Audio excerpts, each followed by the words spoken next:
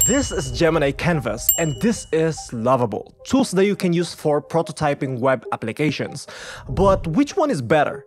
Canvas or Lovable? Spoiler alert, it's Canvas. In this video, I'm going to show you Gemini Canvas and we are going to compare it to Lovable to see which one produces the best results. Now let's begin with Gemini Canvas. The first prompt that I'd like to do is, can you do this? And I uploaded a wireframe image that Gemini can use as a reference. This is from their landing page and I wanted to see if this is true or just a marketing strategy. So let's give it a go and I'm going to record actually how long it's gonna take because I want to see if it's going to be faster or slower than Lovable. And let's just give it a moment. And here you go, Canvas only took 35 seconds. That is impressive. Now let me try the same prompt for Lovable. Now this could take a little more time, so I'm just gonna fast forward. Well, Lovable took almost 2 minutes. I've tried both results and I would say the one from Gemini is much better. While it has almost the same components, I prefer the UI made by Gemini. It's clean and it's actually working. The app made by Lovable has an issue and that is the doodle area and the brush. It is not working. I tried to brush somewhere else, but it's not really displaying. I tried different colors, it's not working. And when it comes to the sounds, I'll let you be the judge.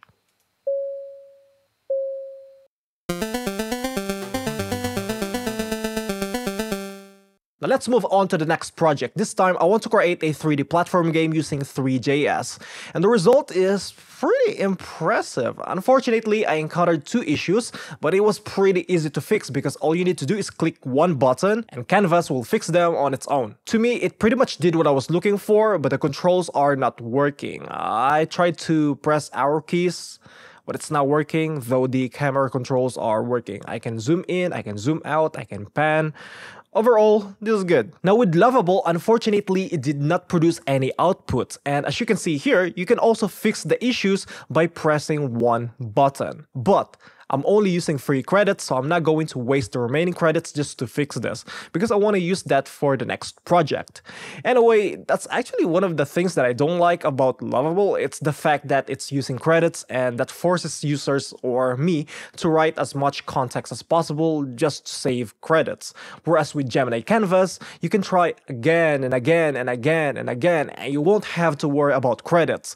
In fact, Gemini Canvas is free. Yes, the pro models is limited access, but it's free. And honestly, if you compare Lovable and Gemini's pricing and features, you would get more from Gemini Pro.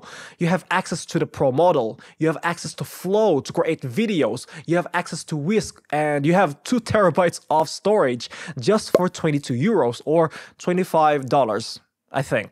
It's literally the same price. And what do you get from Lovable? Remove the Lovable badge. what a joke. Uh, I know you get custom domain, but you can literally get that for less than $10 per year. I just need to fact check myself. The domain is not included.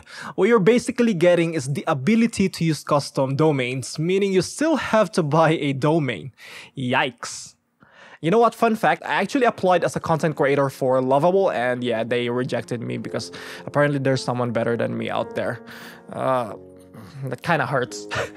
anyway, let's move on to the next app. This time, I want to build a landing page in a neo-brutalism web design style. And here's the output of Gemini Canvas. Again, this only took like less than a minute and it's already pretty impressive.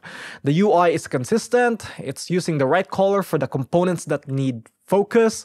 Overall, this is something that I would actually use. It's looking great. It looks great. Now I tried to create the same landing page with Lovable and this one took 3 minutes, almost. So this one is slower than the first prompt. But I gotta say that the UI is really good, it has hover animations, the links are working, and the footer looks professional. I have minor nitpicks like the colors that it used, but other than that, I like it better than what Gemini Canvas produced. Now I want to focus on Gemini Canvas this time. I created another project and it's an app that helps users learn a language. For example, French. And this is the app that it produced. It's a very simple app, but what I want to show you is this add Gemini features. What this is going to do is add AI to your project. So if you click this, Gemini is going to start integrating AI to your prototype. And once that is finished, you will see an API key button where you can paste your Gemini API key. You can get that key from AI Studio.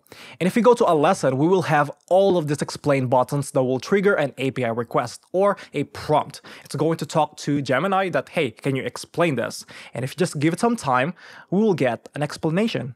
There we go. Now notice that we have a problem with model. The height is too big. So there's a new feature that you can use here and that is the select and ask. This will allow you to highlight a section of your prototype and you can ask Gemini to fix that or work on that section. For example, here I'll just highlight the whole model and tell Gemini that it is too big. And there we go. The model is now fixed. Now let's talk about what I don't like about Gemini Canvas. Listen, Gemini Canvas is really impressive and I really feel like it is a great tool for just prototyping, but I wish there's a way to make full stack applications or, you know, there's a way to create React app with Node or with other languages or programming languages for building backends. I try to make it use React and use an API to fetch data from third-party APIs or whatever, but the code that it wrote is pretty much hard to follow. In fact, it just wrote some of the components. So I would say Gemini Canvas is only good if you're only making HTML, CSS, and JavaScript project. And this is where Lovable actually wins because Lovable can make full stack applications. But I want to tell you that there is actually a way to create full stack applications using Gemini, and that is through their AI Studio. And there you can tell Gemini to build you an app using a framework, and you will have access to all of the files or components that it wrote. But you know what? That is another tool that we can cover in another video, so let me know if you want to see that. Anyway guys, that is Gemini Canvas versus Lovable. Based on the results, which one do you think is better? Canvas or Lovable? Let me know in the comments below. And if you enjoyed watching this video, give this video a thumbs up and subscribe to WeeklyHow for more videos like this one. Thank you for watching. I will see you in the next video. Bye.